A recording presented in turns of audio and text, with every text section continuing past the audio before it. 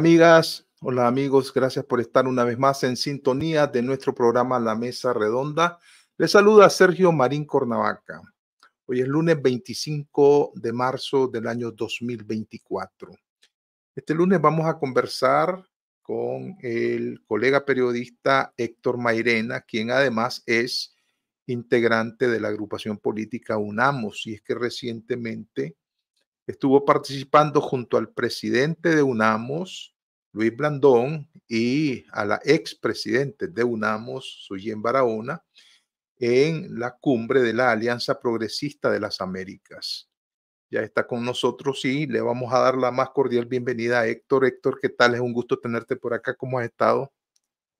Muchas gracias, Sergio, por la oportunidad. Regresando de Río ayer, después de una rica jornada en, en, la reunión de la dirección de la Alianza Progresista. Bueno, vos te perdiste entonces el Via Crucis que la iglesia costarricense eh, organizó en Coronado.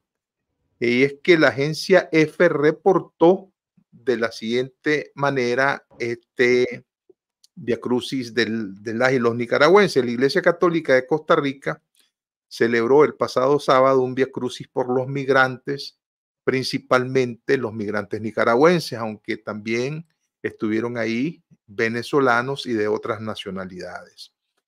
En ese contexto, los nicaragüenses asistentes pidieron por la liberación de los presos políticos que actualmente están en Nicaragua y a la vez que oró por la paz y los sacerdotes perseguidos en Nicaragua.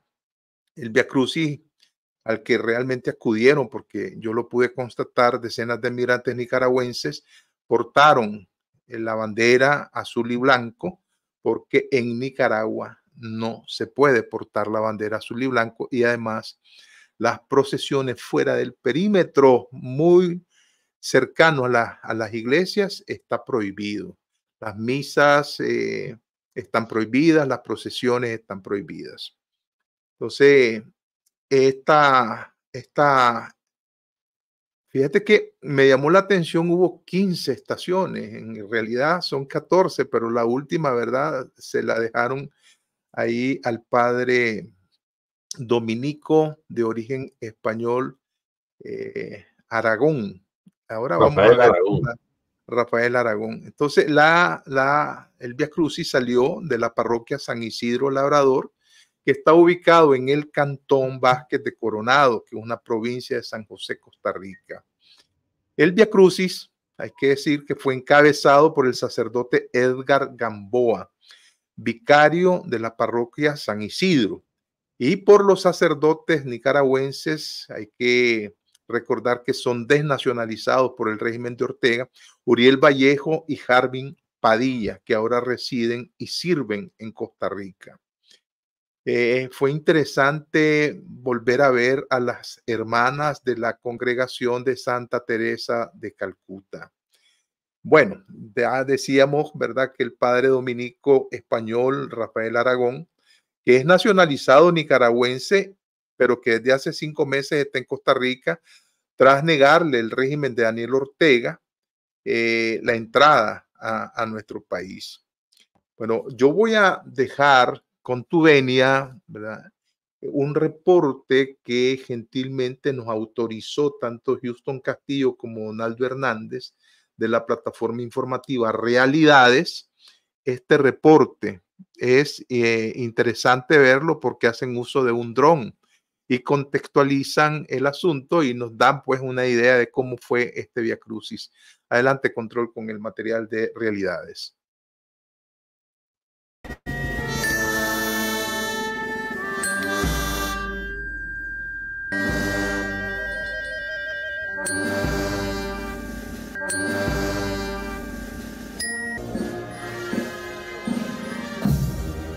Tiene mucho significado celebrar el Santo Via Cruz en Costa Rica, debido a que en Nicaragua no lo podemos hacer.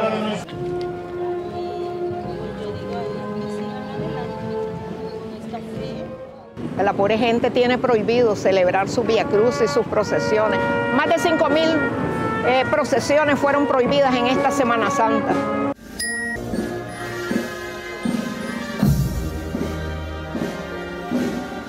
Bueno, representa que nosotros los nicaragüenses seguimos en resistencia, ¿verdad?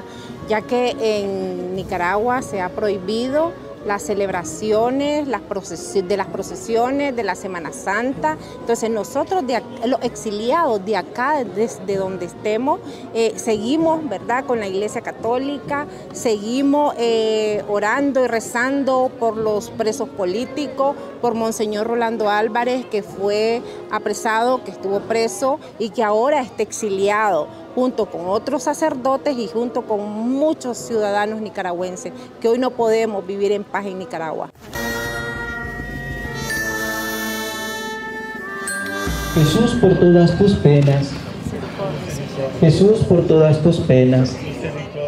Este Via Cruz es dedicado a todos los migrantes que estamos en diferentes partes del mundo, especialmente en Costa Rica. Nuestra Iglesia Católica nuestros obispos aquí radicados en Costa Rica han hecho el llamado a que vengamos a este Via Cruz.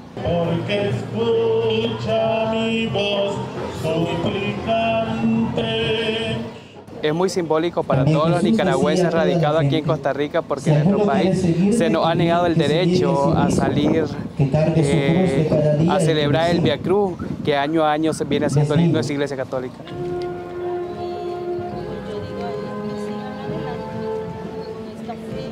En mi pueblo, en el Almendro Río San Juan, acudía siempre a los viacruces eh, año a año hasta que el régimen se encargó de, censurar todos los viacruces y a cerrarle el espacio a nuestra iglesia católica, pero sabemos que nuestra iglesia católica está muy fuerte.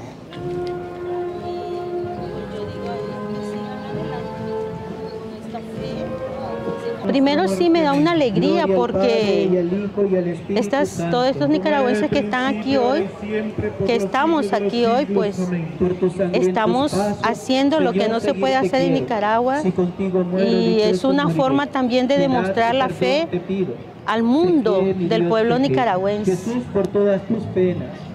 Bendice a todas las familias que abandonamos nuestra tierra para que logremos aquí en Costa Rica crear una nueva comunidad con los valores del Evangelio, sin olvidar nuestra cultura de origen. Amén. El significado es tradicional en la Iglesia Católica. Toda la cuaresma, los viernes se celebra el Vía Crucis y en la Semana Santa con más devoción para recordar la pasión, la muerte y sobre todo la resurrección del Señor que es la meta de nuestra fe.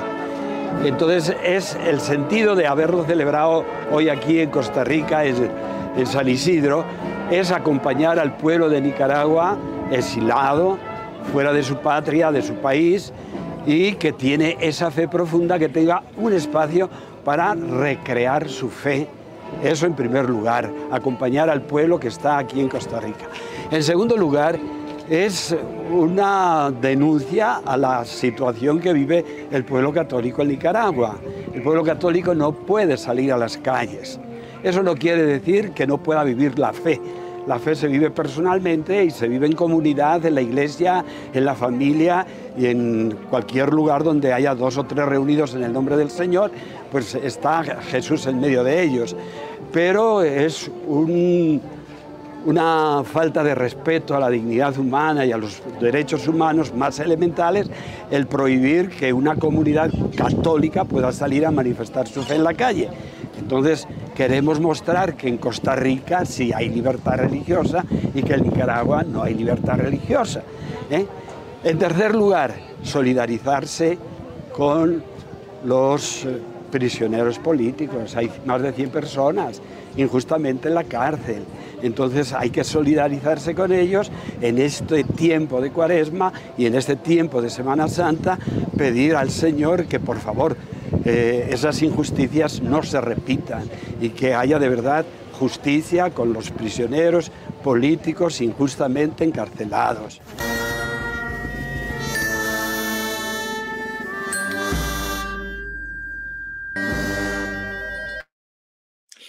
Bueno, yo personalmente quiero agradecerle a la Iglesia Católica de Costa Rica esta apertura que ha dado eh, junto con los sacerdotes nicaragüenses que están haciendo su obra en San Isidro de Coronado. Eh, también felicitar a las organizaciones que se encargaron de cada una de las estaciones del Via Crucis. Realmente fue muy emotivo recordar a nuestros presos políticos, a nuestros caídos y a nuestros sacerdotes exiliados en una iglesia perseguida por la dictadura Ortega Murillo. Eh, gracias por tu paciencia, Héctor. Eh, quiero referirme ahora que la Alianza Progresista es una organización política internacional fundada el 22 de mayo del año 2013 por partidos políticos progresistas, la mayoría de los cuales son miembros o exmiembros de la Internacional Socialista. La organización establece el objetivo de convertirse en organización mundial del el movimiento progresista, socialdemócrata, socialista democrático y laborista. Eh, habiendo hecho esta caracterización, me gustaría, Héctor, que nos explicaras por qué el movimiento UNAMOS es parte integrante de esta alianza y qué fueron los, los temas conversados, ¿verdad? ¿Por, qué se dio esta, este encuentro en Brasil? Bienvenido nuevamente, Héctor. Sí, muchas gracias, Sergio. Bueno, eh, primero quisiera hacer un comentario muy breve porque es inevitable sobre esta actividad del Via Crucis que se realizó el sábado pasado y hay que decir efectivamente que está cargado de, de, sentimientos emotivos, ¿no? Pero y, y, además simbólicos, porque en efecto el pueblo nicaragüense está siendo sacrificado, torturado, crucificado por la dictadura de Daniel Ortega y Rosario Murillo y este Via Cruces eh, lo refleja muy bien con todo el simbolismo que pesa, ¿no? Y recuerdo yo siempre en estos días algo que escuché de Monseñor Silvio Báez y que ahora lo repetía el padre Aragón, que al final la gran enseñanza de la Semana Santa es que hay resurrección y el pueblo nicaragüense sin duda alguna va a resurgir. Como dijo también en otras declaraciones que leí la hermana que declaraba en este reportaje, vamos a volver a Nicaragua para construir una Nicaragua en paz, con respeto a las libertades religiosas, con justicia. La Alianza Progresista existe efectivamente desde el 2013. Es una plataforma internacional en la que están muchos, cerca de 140 partidos y organizaciones, movimientos sociales, centros de pensamiento que eh, asumen como principio libertad, justicia, solidaridad.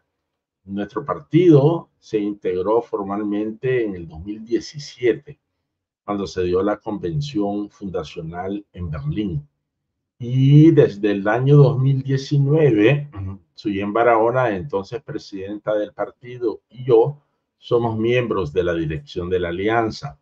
Ahora lo que se realizó en Río de Janeiro bajo el auspicio del Partido Socialista Brasileño, que es miembro de la alianza, teniéndolos a ellos como anfitriones, fue una reunión de la dirección de la alianza. Eh, y en nuestro caso también estuvo el presidente de UNAMOS, Luis Blandón. Aprovechamos para presentárselo a los partidos amigos en preparación a la próxima convención de la alianza que se va a realizar en octubre en Santiago de Chile. Primera vez que va a realizarse este evento, el máximo de la alianza, en eh, fuera de Europa. Eh, abordamos los temas eh, que tocan al progresismo mundial, los desafíos que tenemos frente a este avance de las expresiones más radicales de la ultraderecha y la derecha no solamente en América Latina, sino también en el mundo. Eh, y también abordamos eh, las situaciones que se dan en varios países, entre ellos Nicaragua, por supuesto, y se aprobó una resolución en la que la Alianza Progresista, estos 140 y tantos partidos y organizaciones, expresaron una vez más su condena a la dictadura de los Ortega Murillo, su solidaridad con nuestra lucha y el compromiso de seguir denunciando y tomando medidas en lo que corresponda para eh, exigir a la dictadura el respeto a los derechos humanos, la liberación de los presos políticos. Quiero decirte, Sergio, para finalizar, que en la Alianza Progresista hay partidos tan importantes como el Partido Socialista Obrero Español, que es el partido de gobierno, el Partido Socialdemócrata de Alemania, que también gobierna, eh, el Partido Revolucionario Moderno, que gobierna en Dominicana,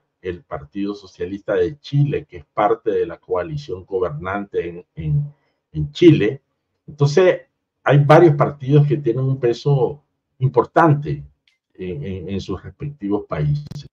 De tal forma que esta reunión en la que se reiteró la solidaridad con, con nosotros ha sido un paso más en función de esta, eh, de, de, renovar, de, de poner a la altura de los desafíos actuales el progresismo mundial. ¿Cómo lograron conciliar, por ejemplo, que, hayan, que se hayan reunido en Río de Janeiro? Estuvo ahí presente el Partido de los Trabajadores de Brasil, que es el partido de Lula. ¿Por qué? Porque sabemos que Lula todavía sigue eh, respaldando a la dictadura de Daniel Ortega. Entonces, me gustaría conocer si hay contradicciones en la participación de de esta alianza con una demanda que se le pueda hacer a Lula, ¿verdad? En el sentido de dejar de seguir respaldando a Daniel Ortega. El PT no estuvo presente, eh, el mm. partido de Lula no estuvo presente, pero sí estuvo presente eh, y fue el anfitrión de sí el Partido Socialista Brasileño, que es cogobernante. Y recibimos un mensaje de de solidaridad y un comunicado, nosotros lo hemos publicado en nuestra cuenta de X de este partido. Y también hubo un mensaje del actual vicepresidente de Brasil, que está vinculado al Partido Socialista, expresando su solidaridad y su acogida a esta reunión de la Alianza Progresista. Yo creo que en el caso particular de Lula, no está precisamente apoyando expresamente a la dictadura más bien ha tomado cierta distancia en, una dirección y la otra, pero sabemos, y esto lo constatamos por reuniones paralelas que sostuvimos en Río de Janeiro, que dentro del PT hay, una, hay un estado de opinión eh, favorable a la lucha por la democracia en Nicaragua. Pero bueno, la política exterior de Brasil la dirige el presidente Lula y él ha tomado esa esa posición. Eh, nosotros hemos instado al gobierno brasileño, a la presidencia, que debe jugar un papel más categórico de cara a la situación que se vive en Nicaragua. Eh, sabemos, y esto lo, nos lo confirmaron eh, en una tuvimos, y no tengo ningún problema en decirlo, que Ortega también se ha negado a responderle a Lula y al entorno de Lula llamado que le ha hecho. De tal forma que Ortega está aislado, incluso con quienes a veces pensamos aislado y autoaislado, incluso de aquellos quienes a veces pensamos que son sus aliados. Lo mismo pasó, recordarás, eh, Sergio, con el gobierno anterior argentino, que en algún momento su ministro de Relaciones Exteriores hizo un intento y le colgaron el teléfono. Esa es la posición porque Ortega ha asumido una ruta suicida, eh, eso lo vemos y lo ven también los amigos en el extranjero, en esto de atornillarse a, una alianza que no tiene ningún futuro con Rusia, China e Irán. Y el autoaislamiento responde a que se sabe repudiado por la comunidad internacional. Y eso es también expresión del aislamiento interno de Ortega. Ortega está solo en Nicaragua y se sostiene sobre la base de la represión, la fuerza, el crimen. Eh, en ese encuentro de esta alianza progresista, ¿qué se dijo sobre Venezuela? ¿Cómo está siendo leída la situación de Venezuela, donde ya impidieron, pues, verdad, que María Corina Machado fuese la candidata oficial? Eh, ¿Qué perspectivas ven sobre la situación venezolana?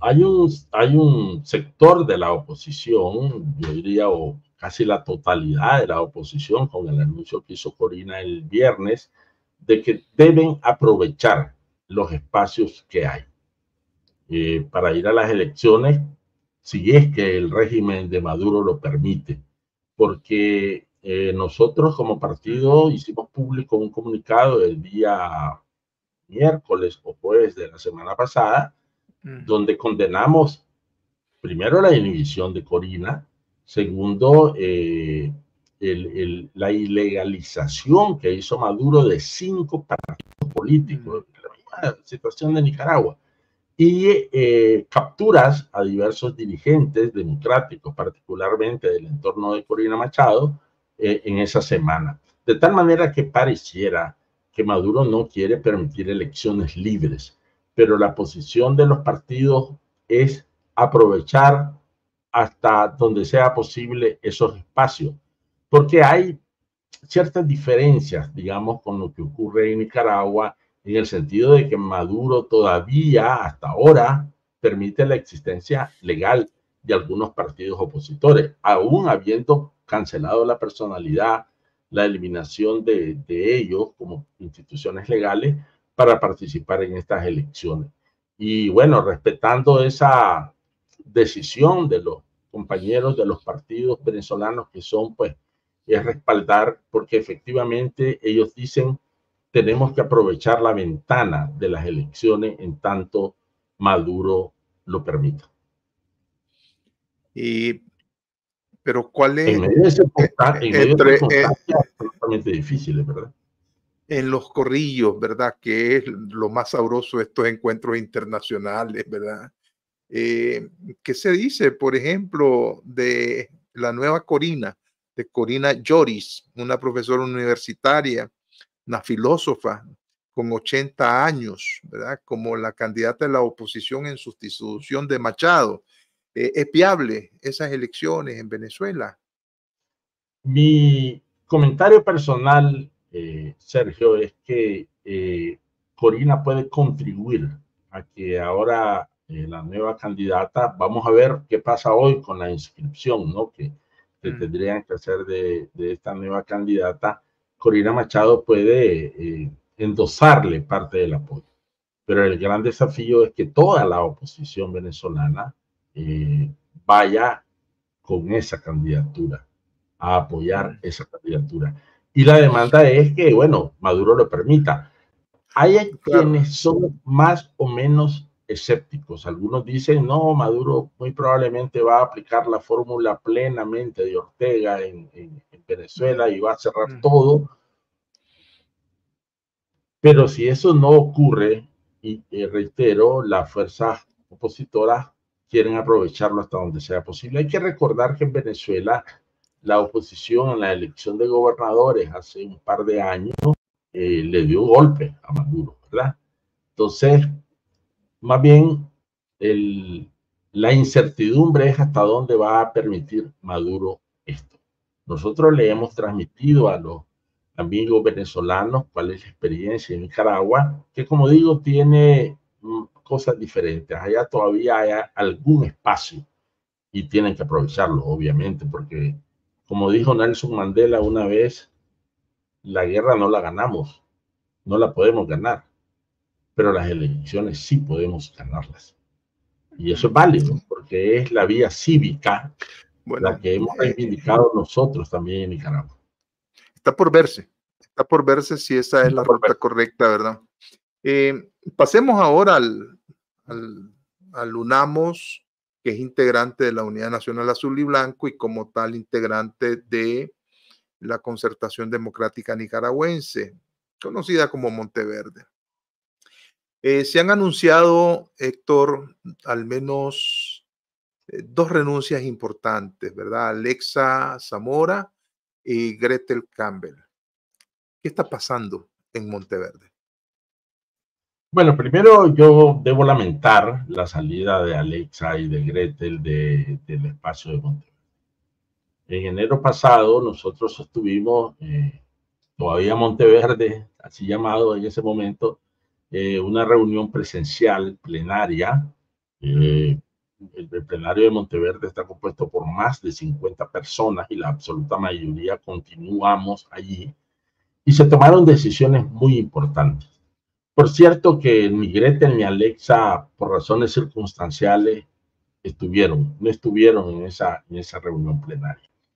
Entonces, la decisión principal fue que mm, lo conocido hasta ese momento como Monteverde pasaba a ser una concertación democrática, así llamada concertación democrática nicaragüense, en la que estarán participando organizaciones y personas, porque hasta ahora la participación en Monteverde había sido de dirigentes de las distintas expresiones políticas la sociedad civil, etc.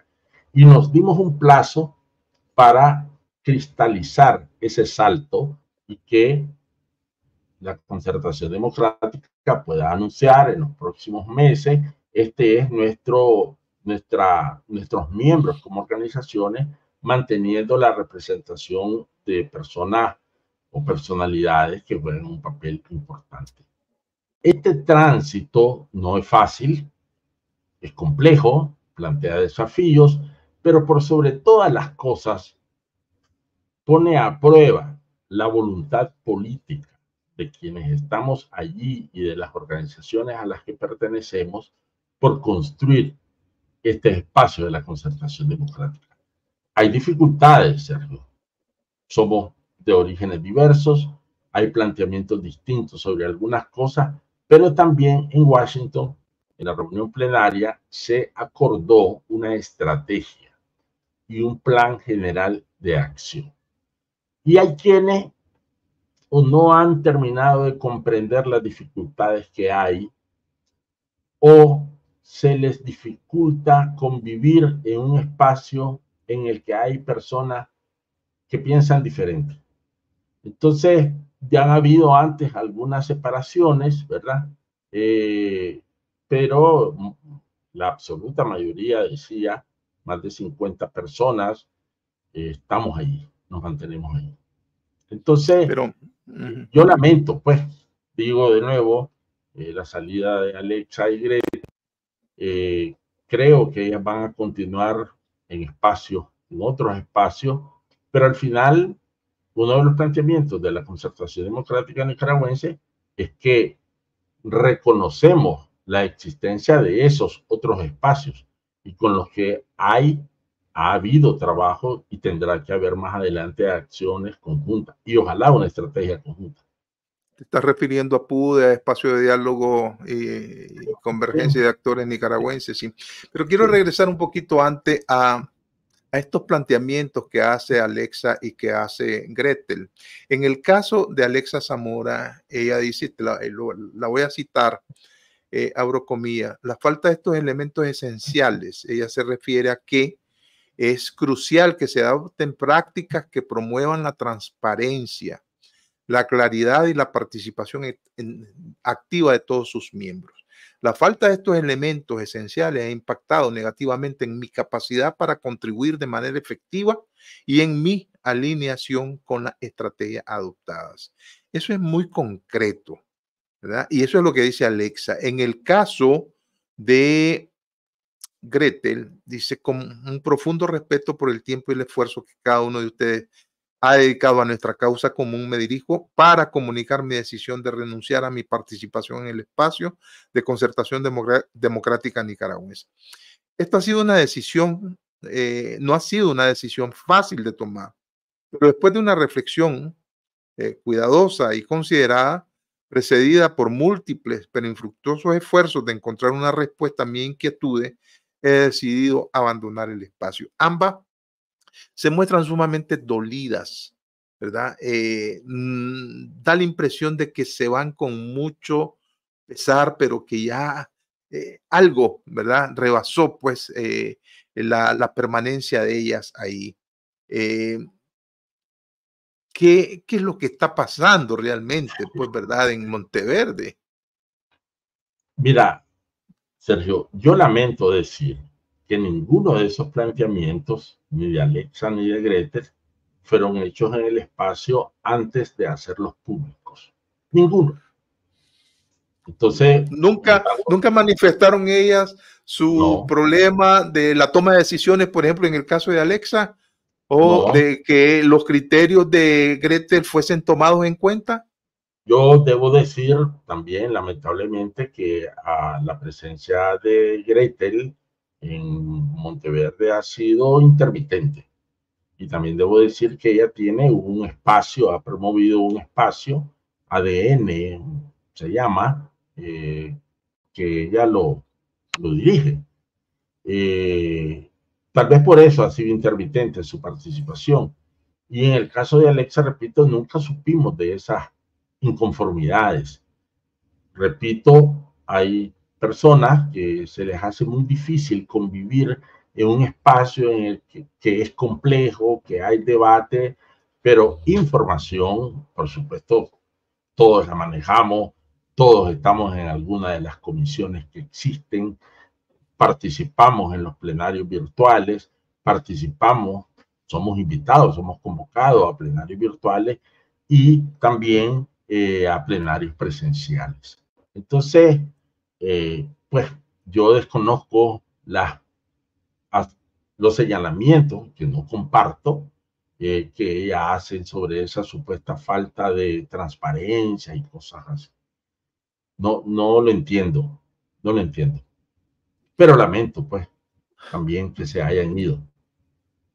Eh, ok, en recientemente en la ciudad de Miami, y estoy buscando acá la nota específica, eh, una nueva plataforma, aunque no le gustó a Alfredo Gutiérrez, que fue el compareciente en este programa, para que nos explicara en qué consistía esa, a nuestro juicio, nueva plataforma. Ellos se hacen llamar Confederación de Organizaciones Políticas eh, Opositoras Nicaragüenses y en el comunicado hicieron un llamado a la unidad. Eh, sin embargo, se deja entrever ahí que es una plataforma que va a ejercer cierto contrapeso en contra de Monteverde, porque a ustedes lo signan de ser predominantemente izquierdista, aunque ahí esté Kitty Monterrey, y ellos quieren ser, ¿verdad? Eh, una plataforma totalmente democrática, donde no hay elementos de la izquierda nicaragüense. ¿Cómo leen ustedes este planteamiento que hace esta confederación? Primero sobre este señalamiento que adversarios de Monteverde de un lado y de otro han hecho repetidamente, Sergio, de que Monteverde está controlado por la izquierda, por los sandinistas. Llegaron a, a decir la, la barbaridad que Monteverde era controlado por Humberto Ortega. En, Monteverde, en la concertación democrática, está Kitty, está Juan Sebastián, está el propio doctor Humberto Belli y otras personas menos conocidas públicamente que son, que no tienen nada que ver con, el sandinismo, con la izquierda, porque Norman Caldera, porque la gran virtud, el gran activo de la concertación democrática es la pluralidad de orígenes, de pensamientos, personas como el doctor Palde, que eh, participamos allí bajo la premisa de que el problema principal en Nicaragua no es ideológico ni es izquierda-derecha. Es democracia, dictadura.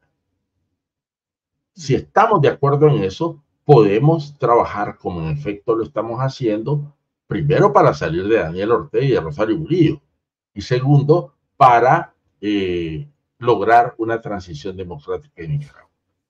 Entonces, eso es, se cae por su propio peso, esta afirmación.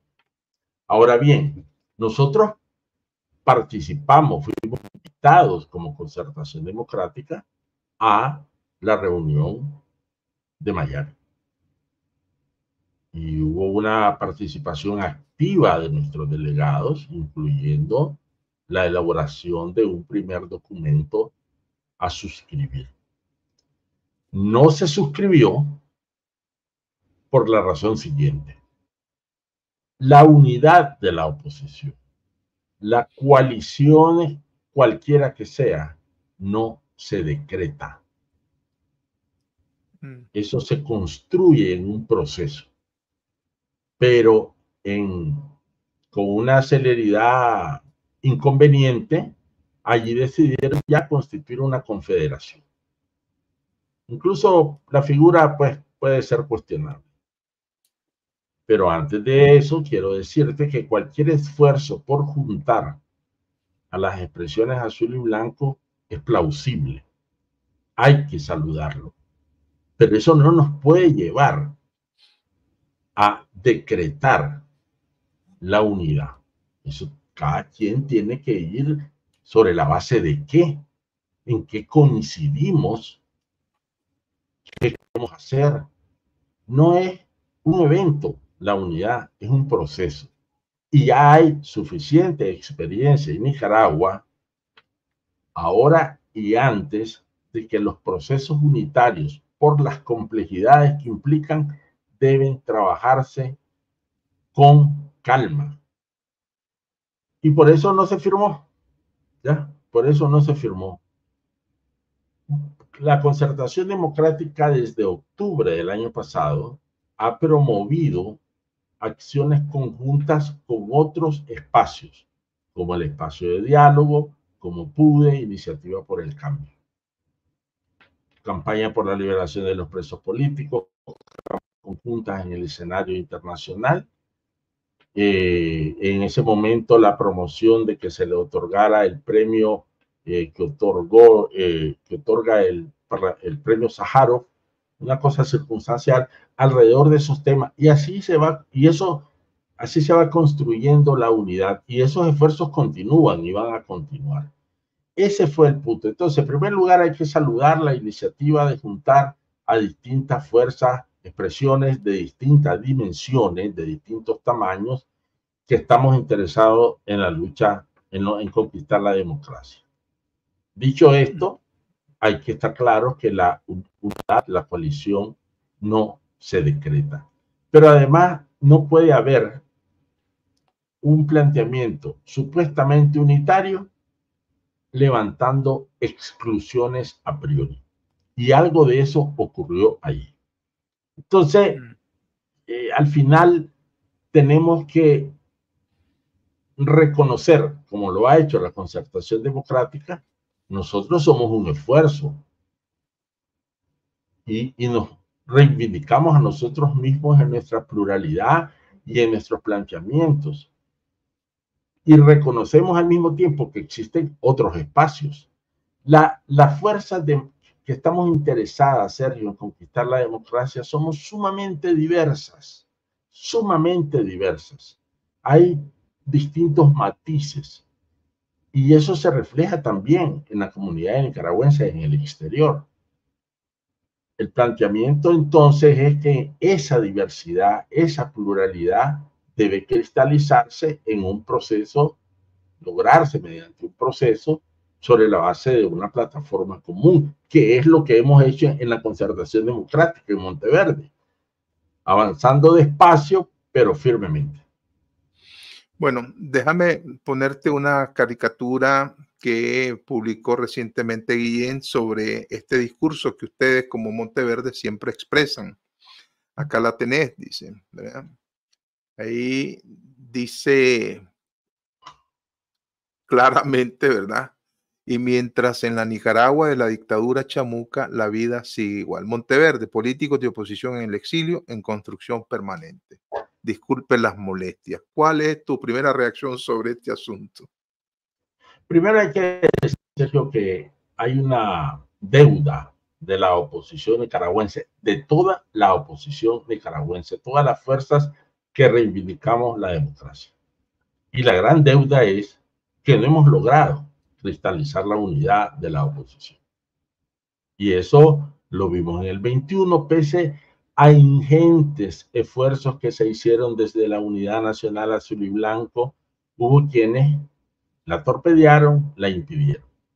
Y en el transcurso de estos años, tres años, se han dado esfuerzos que, avanzando no a la velocidad que las condiciones exigen, han estado trabajando en esa dirección. Y la crítica a Monteverde, a la concertación democrática, de que ha, no ha avanzado lo suficientemente rápido, yo creo que es justa.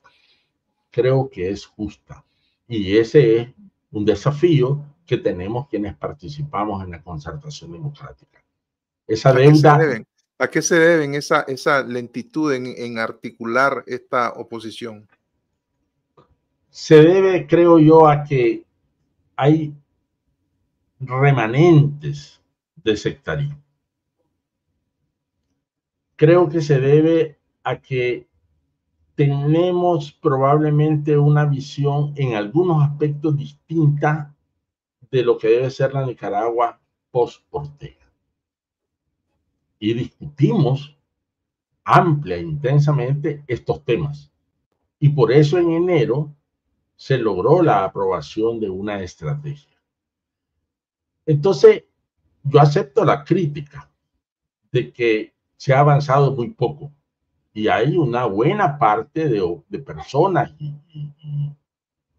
y, organizaciones llamadas a estar en Monteverde que lo hemos dicho y lo decimos. Hay que aceptar esta crítica. Hay que estar a la altura de las exigencias. Y creo, Sergio, que tiene que ver con, con que el orteguismo y, el, y Arnoldo Alemán también golpearon muy fuertemente eh, la generación eh, de, nueva, de, un, de un nuevo liderazgo político mediante la cárcel unos, mediante el chantaje, mediante el acoso y en otros, y el impedimento simple de la democracia. Entonces ha dificultado que esta nueva generación de líderes políticos asuma a plenitud el compromiso de la unidad de la oposición. Yo siempre recuerdo, seguramente vos también lo recordarás, Sergio, cómo en la lucha contra la dictadura somocista, bajo el liderazgo de Pedro Joaquín Chamorro, se conformó UDEL, que era plural, había socialistas, social cristianos, conservadores. Esas, esos son referentes, son enseñanzas que debemos tener en cuenta y que nosotros mencionamos a los colegas con los que participamos. O eh, el propio Frente Sandinista, al final de, de, de la lucha contra Somoza, logró convocar a un espectro sumamente amplio. Y si nos vamos a lo que hizo la Unión Nacional Opositora en 1990 también. Entonces, ahí había comunistas, socialistas, liberales, en fin, y lograron entender la dimensión del desafío histórico que tenían enfrente. Nosotros, en la concertación democrática, creemos tenerlo claro, la dimensión de lo que enfrentamos la dictadura más brutal que ha habido en la historia de Nicaragua y que ha tenido, repito, eh, ha dado golpes importantes a la oposición nicaragüense. No solamente los muertos, los presos, sino el trabajo que hace, generando desconfianza, promoviendo divisiones, etc. Y tratamos entonces en esta nueva etapa de la concertación de estar a la altura de ese desafío. Entonces hay una mezcla de varios factores, pero el hecho concreto es, tenemos una deuda, tenemos un déficit y hay que pagar. permitirme hacer una, una, cronología muy breve.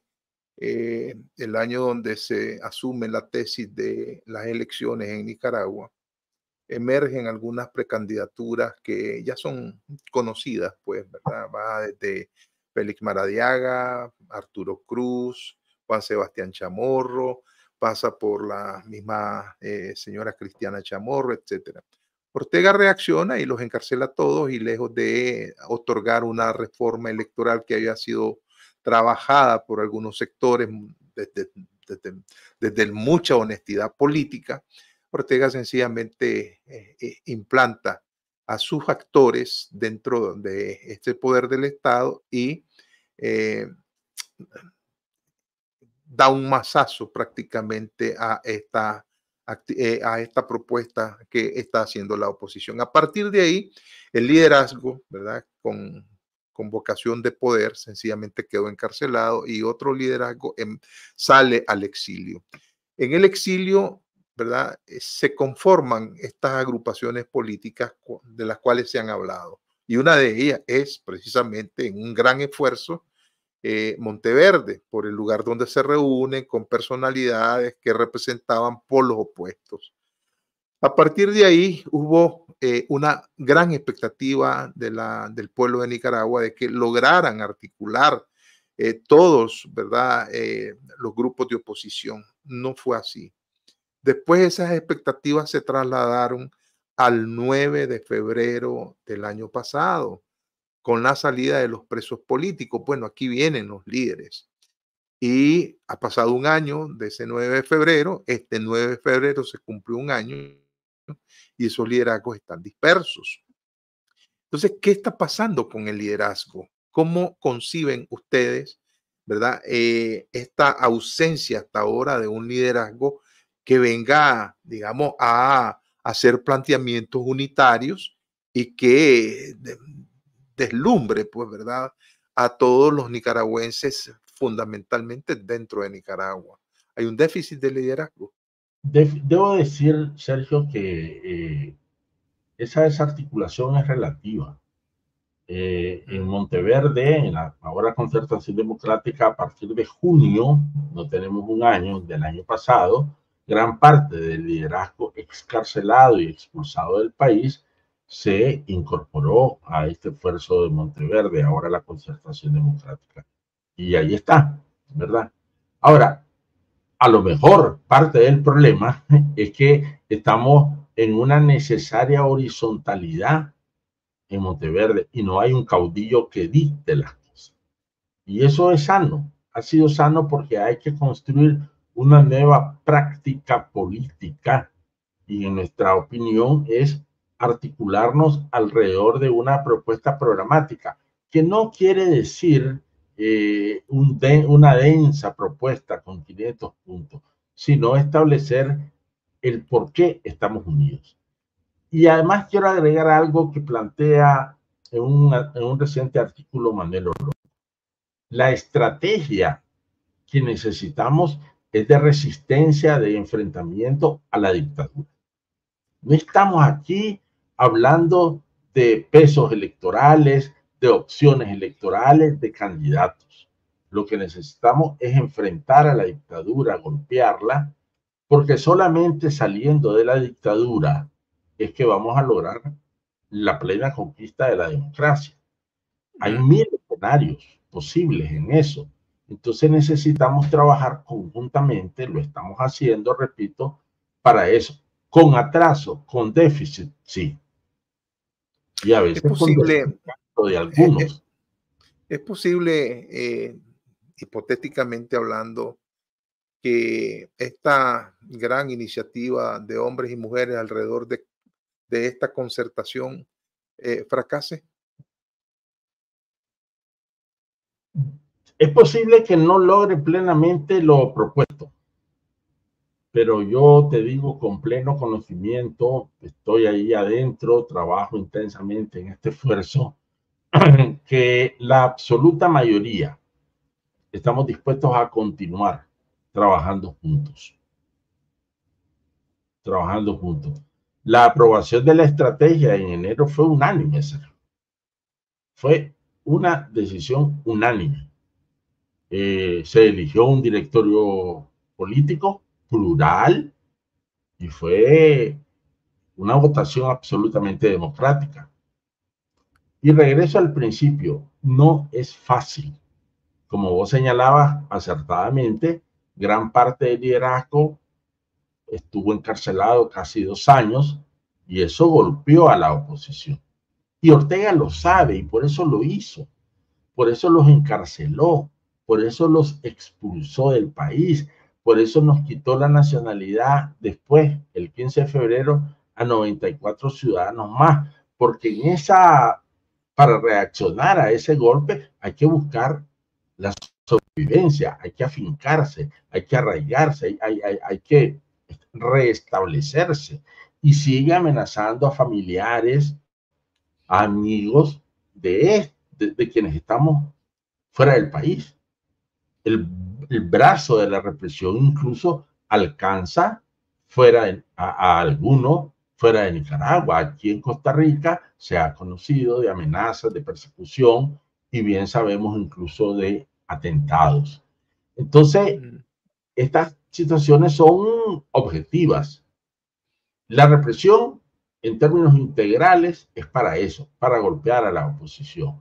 Pero aún con eso, yo repito y reconozco, hay una deuda nuestra, de toda la oposición, de que no hemos estado a la altura y, a la, y con la velocidad que las condiciones dificilísimas en Nicaragua exigen. Yo creo que la concertación democrática no va a fracasar, se está estableciendo más firmemente.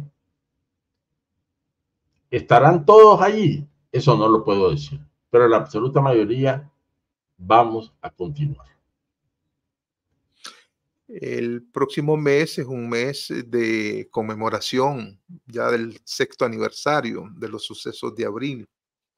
¿Cuál sería tu mensaje al pueblo de Nicaragua, principalmente en este inicio de la Semana Mayor y a las organizaciones eh, políticas que eh, se han venido estableciendo a lo largo del tiempo, todas las organizaciones políticas opositoras?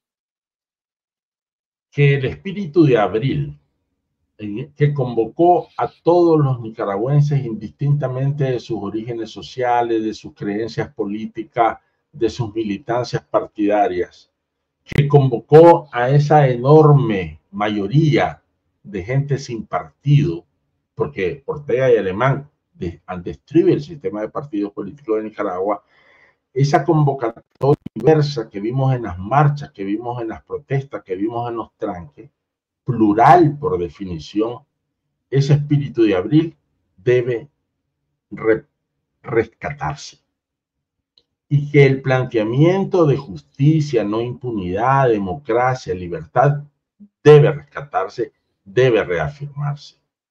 Son seis años ya y pueden parecernos mucho, pero han sido los seis años más difíciles en la historia de Nicaragua para las fuerzas democráticas.